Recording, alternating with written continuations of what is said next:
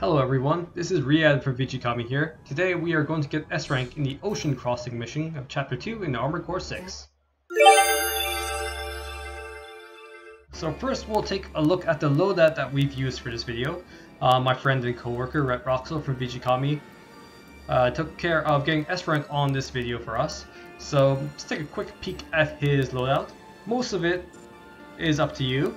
However, the most important part is your generator. You want one with a lot of EN capacity because you'll need to fly around a fair bit during this mission and use a lot of assault boost.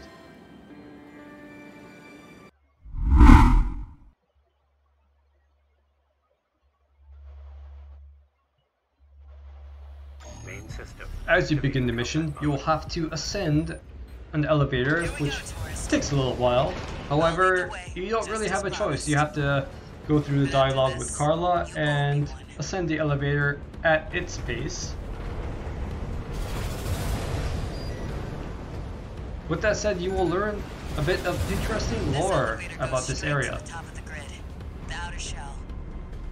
Sadly, that's beyond my territory.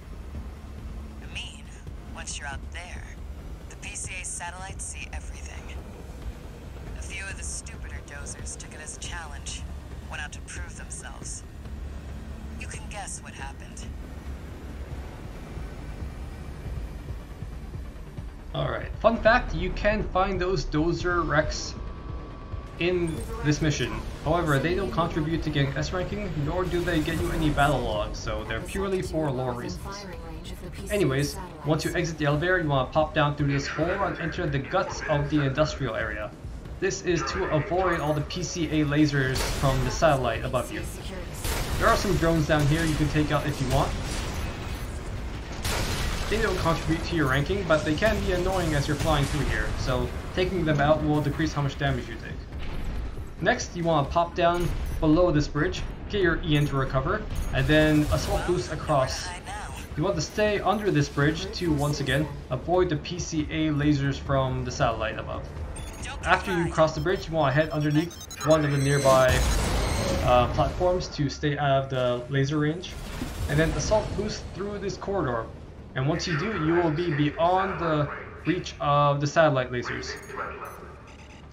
Next, you gotta take out these drones in the loading bay area. Pretty much any weapon will make quick work of these drones. Every weapon that I personally use in this mission takes them out like one shot.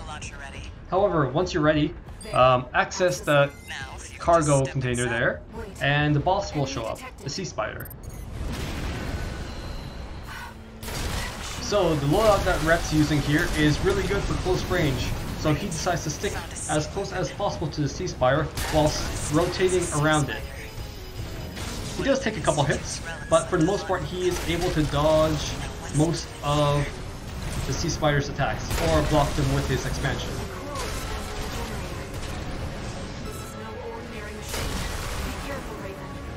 Depending on the weapons you have, you may want to stick a little bit farther away from the Sea Spider, but that is up to you. Once the Sea Spider drops below 50% AP, it will enter phase 2. While it's doing so, take this opportunity to hit it as hard as you can while its defenses are down. However, once it starts flying up in the air, you want to do the same. A lot of the Sea Spider's attacks are quite good at tracking you on the ground, However, if you're in the air, it will have a difficult time landing hits on you for the most part.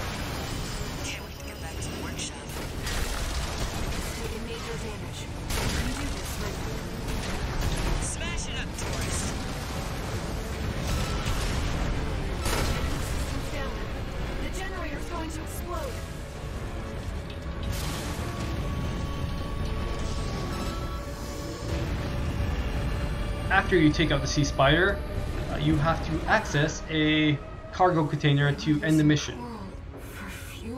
However, you need to wait for Ayre and Carla to finish their dialogue before you could access that cargo container, which is that way.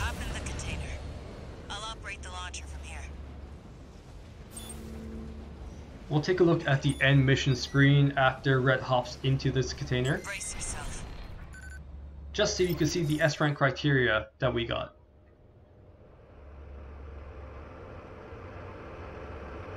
So you want to use less than 22,000 in terms of repair costs, use less than 34,000 in terms of ammo costs, and complete this mission within 5 minutes or so to get S rank. Thank you so much for watching. If this video helped you out, please consider liking and subscribing. Until the next one, happy hunting fellow mercs.